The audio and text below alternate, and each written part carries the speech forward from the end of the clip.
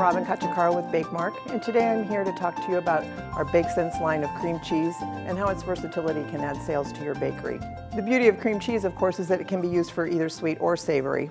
It can be used as a filling, an icing, or a standalone spread for bagels. Of course, the most popular ways for cream cheese to be used in the bakery is as a spread for bagels or for making great cheesecake.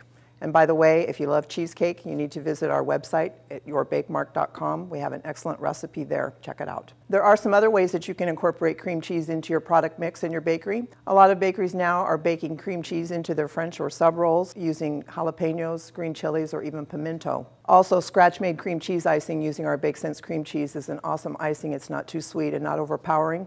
It makes an awesome icing for cakes and cupcakes, especially red velvet, carrot, or spice cake. So today I want to show you a super simple cream cheese filling that you can make that isn't too sweet. It's very easy to make and it tastes really great with fresh fruit. So we're going to take 8 ounces of the Bake Sense cream cheese. We're going to take 4 ounces of regular powdered sugar. We're going to take 2 ounces of whole milk or cream. And then just, I like to add just a splash of lemon juice. And we're going to put all of those into our bowl. Here's some that I have pre-mixed to get started. You want to make sure that your cream cheese is uh, softened at room temperature. Makes it a lot easier. Also, if, you're, if you live in a humid climate, you might want to uh, sift your powdered sugar to make sure that you have all the lumps out because you want to get a nice smooth filling. So you'll get a nice cream cheese filling that has a nice body to it so that you can actually pipe it. But it's not going to be as sweet as buttercream icing.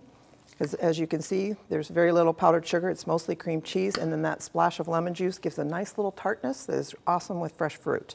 So then I've just filled a piping bag with the cream cheese filling. I've made a couple of little fruit kebabs here, just using whatever fresh fruit you have in season. I've used blackberry and raspberry in this case. I'm just going to stick that right down inside there. Nice fresh strawberry and maybe a few little blueberries, whatever fresh fruit is in season where you live. And there you have a nice summertime treat that will please any customer. For more information on our products and recipes, please visit us at yourbakemark.com. Thank you for watching.